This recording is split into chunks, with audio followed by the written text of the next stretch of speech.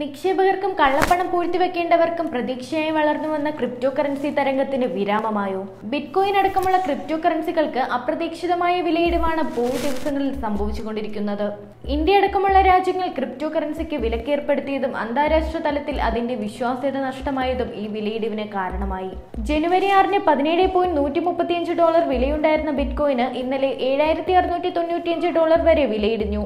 അൻപത്തിയഞ്ച് ശതമാനത്തോളം വിലയിടിവാണ് മൂന്നാഴ്ചക്കിടെ ബിറ്റ്കോയിന് സംഭവിച്ചത്. ഇതേ നിലയിലാണ് മറ്റു ക്രിപ്റ്റോ കറൻസികളുടെയും മൂല്യം തകർന്നുകൊണ്ടിരിക്കുന്നത്. ഇതേ നില തുടർന്നാൽ താമസിയാതെ ബിറ്റ്കോയിൻ അടക്കമുള്ള ക്രിപ്റ്റോ കറൻസികൾ തകർന്നടിയുമെന്നാണ് വിലയിരുത്തപ്പെടുന്നത്. അങ്ങനെ സംഭവിച്ചാൽ നിക്ഷേപക ലോകത്തിന് നഷ്ടം വരിക ശതകോടികളാകും.